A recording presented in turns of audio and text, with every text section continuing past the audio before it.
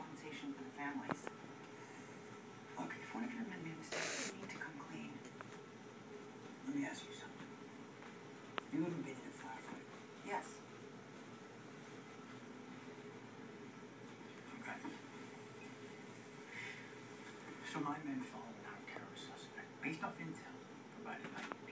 At zero dark thirty into a fucking building that they don't even know is a mosque.